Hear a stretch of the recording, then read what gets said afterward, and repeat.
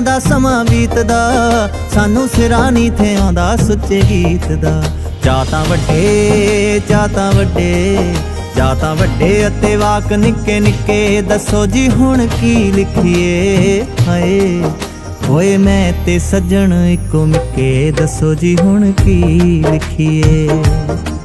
ਸਭ ਮਿਟ ਗਏ ਨੇ ਅਟਕ ਅੜਕੇ, ਦੱਸੋ ਜੀ ਹੁਣ ਕੀ ਲਿਖੀਏ? ਹਾਏ, ਹੋਏ ਮੈਂ ਸੱਜਣ ਇੱਕੋ ਮਿੱਕੇ, ਦੱਸੋ ਜੀ ਹੁਣ ਕੀ ਲਿਖੀਏ?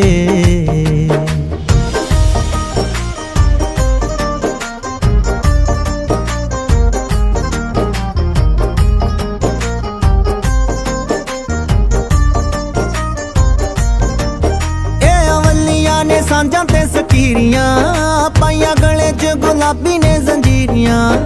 ਸਾਡੇ ਨੈਣਾ ਵਿੱਚ ਆਸ਼ਕੀ ਦੀ ਤਾਲ ਹੈ, ਤਾਈਓ ਨੱਚਣੇ ਨੂੰ ਕਹਿੰਦੀਆਂ ਫਕੀਰੀਆਂ।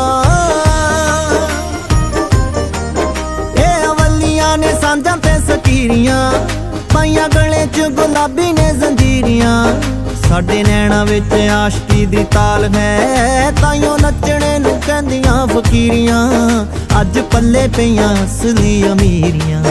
ਸਾਡੀ ਜੇਬ 'ਚ ਮੁਹੱਬਤਾਂ ਦੇ ਸਿੱਕੇ ਦੱਸੋ ਜੀ ਹੁਣ ਕੀ ਲਿਖੀਏ?